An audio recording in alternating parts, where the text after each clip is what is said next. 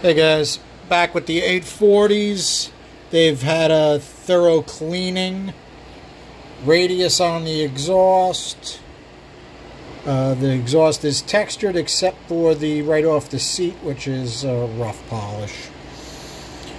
The uh, intake is given my light burr finish. Chamber is my light burr finish. The intake valve got a back cut. We got a nice swath of liquid across that. We've got some splatters on the exhaust. We got a nice wide path. You can even see a little bit on the center of the cylinder side. I think it looks all right. It definitely changed in the chamber, but I also changed the shape of that chamber a little bit. You'll have to go back in the other video and take a look.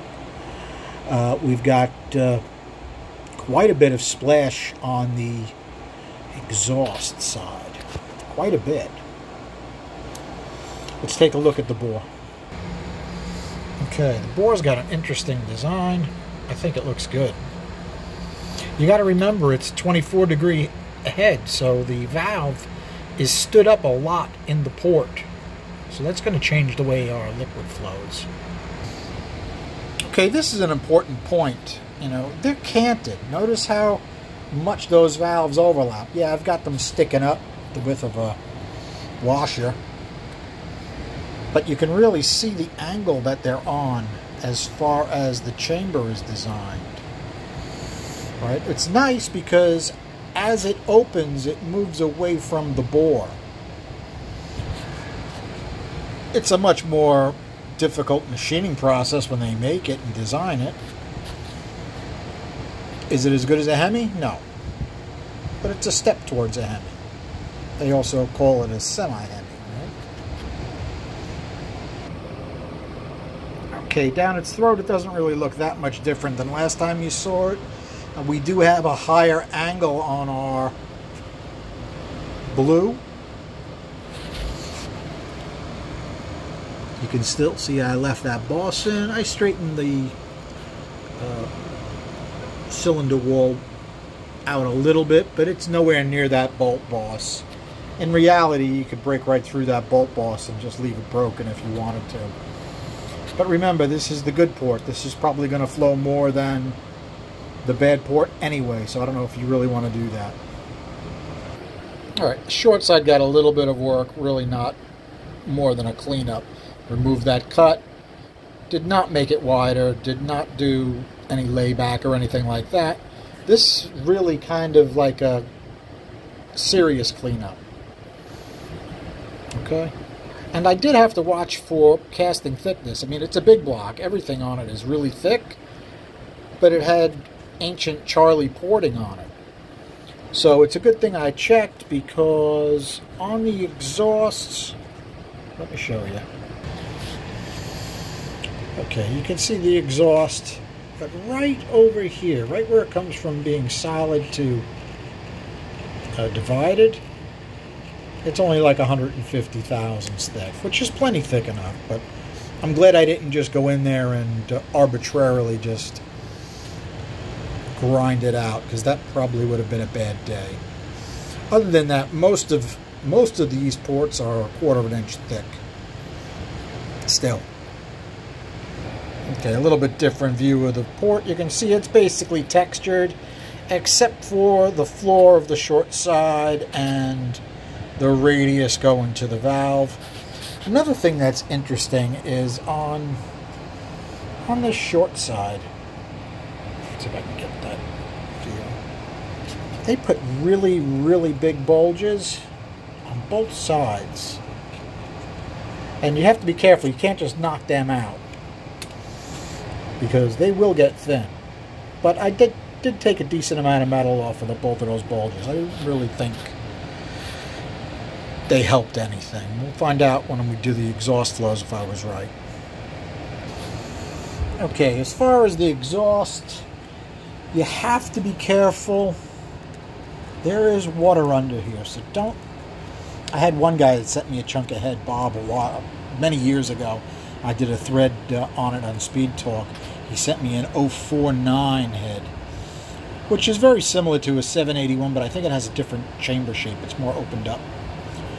And he made this really sharp right here and really scalloped it out. It flowed really well, but it was paper thin. In fact, I took that fin off to see if it uh, improved flow, and it went right through. Didn't matter; it was a half a head anyway. It was for uh, it was for development and research. The other part is this boss relief. I took this down pretty good. You could probably take it completely out, but it would leave it very, very thin. That is actually something else that I do not like about big blocks, is a lot of that exhaust port doesn't have any water jacket around it. Does that really matter in the big scheme of things? I don't know. I like the way small block's designed. I like the water jacket all the way around it. I'm really not interested in seeing, you know, iron glow on the outside while it's running. Okay, you can see it's basically a cleanup. We still even have a paste ooze line. Because that wall is not really as thick as I would like, so I'm not taking a huge amount of metal out of it. You can see I forgot to even get around that uh, bolt boss where the uh, rocker stud goes through, but no big deal. I didn't take a tiny burr and go all the way around the guide to make it, you know, very pretty. Okay, of course, while I was doing this, my little brain is is working on whether I should take a piece out of this. I don't think I'm going to.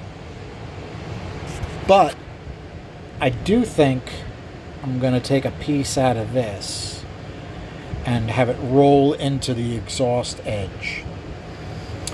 I guess it would figure on, you know what, after we do all the flows, you guys can do a little homework on the exhaust to intake ratio and tell me whether we need to uh, boost up the intake or boost up the exhaust from where we are now. Okay guys, this is kind of interesting. So on the right is the 90s porting, 219, no back cut. This is modern cleanup, 219 with a back cut. These pluses and minuses are in reference to these. How'd we do? Plus, plus, plus, plus, plus, plus. It looks pretty good, right? I made a mistake last flow sheet. I put 371 at 700. It was supposed to be at 600. These are Eric Weingartner's numbers from rectangular port AFRs. So you can compare them to these. You know, not we're not bad there. We're not bad there. We start to lose. We start to lose a lot. We start to lose a lot more. Now, first of all, they're AFRs. Second, they've been worked over by Eric. I would expect them to be better. But still, we got a nice pickup. You know, let's take a look at. Uh, 400. You know, from 267 and change to 179 and change. 500, we went from 299.1 to 320. That's a huge pickup. 325.8 to 342.6. Okay. So we'll be able to uh, test that intake manifold pretty decent. Um, that's basically what, what we're working on. That intake should be in the mail soon. If we take a look at the swirls, they really took off. I only got two minuses. The rest of the swirls are way higher. Now that's kind of let's take a look take a look at the angle that that port is to the chamber. Okay, if we use the pointer like uh, Tom tells us to do.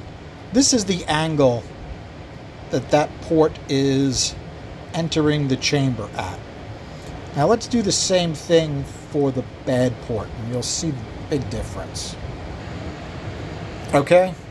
Huge difference in the angle that they're entering the bore at, right? It's very interesting when you think of it from an engineering point of view. What were they thinking of doing?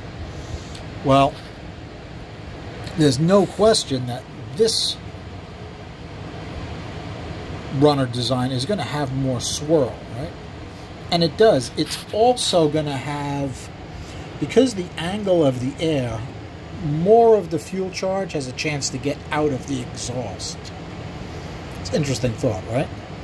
This one, and more like a Ford, hits that wall some more, possibly breaking up the fuel better. And I think I read somewhere that this actually uses, because of the way it's designed, it uses the fuel a little better. So in reality, do they make that much difference as far as horsepower? I don't think it's that big a difference. I really don't. Okay, let's take a look at our air speeds. This is 90s porting, no back cut. These here versus these. Okay, so these pluses and minuses are in reference to those. Pinch got a little bit faster. They were both at 0.6 lift, so you got plus, plus, minus. Not that big a difference, but this is moving more air. Okay. As far as the roof, we came up quite a bit on the center of the cylinder side the uh, cylinder wall side stayed almost exactly the same. And on our short side, we changed. We, we lost quite a bit here. We gained quite a bit here. Lost a little bit in the uh, in the center. Okay, but it's also moving more air. Now let's compare our exhaust ports. Okay, 90s porting, modern porting. And remember, it's mostly a cleanup. I didn't, I didn't go through and check all the air speeds and uh, do my usual thing. I just cleaned it up. I took some of those lumps and bumps out, especially on the short side radius. And since it's already a giant port, I really don't want to take out much metal out of it. So I tried to just kind of fix what was already there. How did I do? Well, I don't see any negatives on that, so I'm going to say we step in the right direction. Is it good? You guys can do your uh, exhaust ratio to intake ratio, and you can let me know. With a two-inch pipe, we're not bad. You know, 227, 243, 252. Uh, certainly better than where we were. Okay, the valve hasn't been touched at all. It's exactly the same completely stock 188 valve. Let's take a look at our air speeds and see if they look any better. Okay, 90s porting, air speeds on top, clean up on the bottom. It doesn't look good as far as the minuses and pluses. It doesn't look good at all. Uh, uh, the 90s one was more even across the top. It was really even in the middle. and it was pretty even at the bottom. And yet, one port, this is measured at 600, one port's moving 202, and the other port's moving 224.7.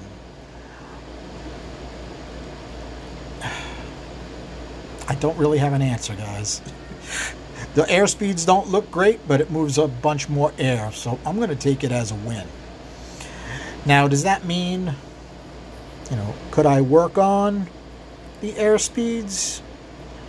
I probably could, but it would also depend how much power the guy that finally gets these wants to make.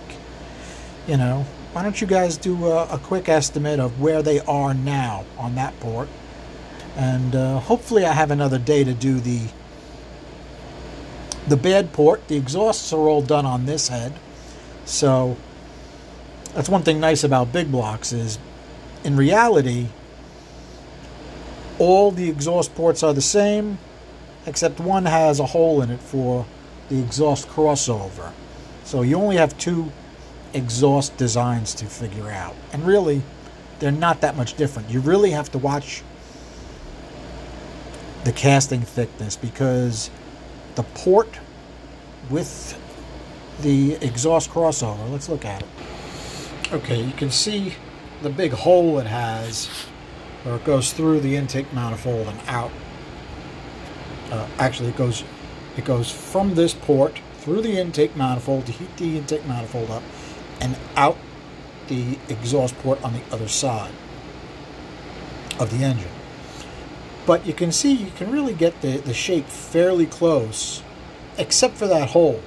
Now I've been asked a million times whether it's worth closing that hole. I would think on an all-out setup, yeah, fill that with liquid aluminum and uh, and go at it. Most stuff is not really going to see a difference, I don't think, because like a good single plane is going to have that blocked off anyway. And it really doesn't seem to affect the flow that much. So let's compare this port to one that doesn't have the hole in it so you can see. Okay, no hole in that one. Alright guys, I think I'm done with these. Uh, well, tonight anyway. Uh, let me know how we did so far and uh, what else you think I need to do to these. You can see they're not, like that throat radius isn't perfect. But it's alright. It's good enough for testing for now. Alright guys, thanks for hanging out. Have a good night.